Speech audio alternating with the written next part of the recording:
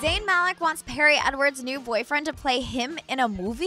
What the simple F is going on?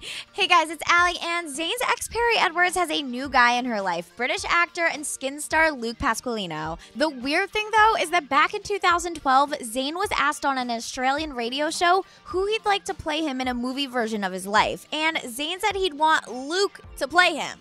This was, of course, before Luke was dating his former fiance, but still, I think we have to clear this up. So let's get a guy who looks like Zayn Malik on the show for comment. Hey, what's up? Hey, guy who looks like Zayn Malik. So, Zayn, is it really true that you want your ex's new boyfriend to play you in a movie, or is that just too weird now that you're dating?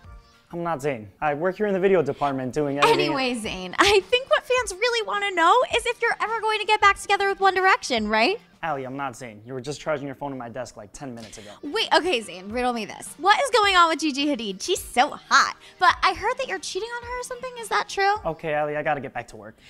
Wow, Zayn is so cool. I love it when he stops by. But anyway, I gotta record a video about Justin Bieber, then I need to finish charging my phone.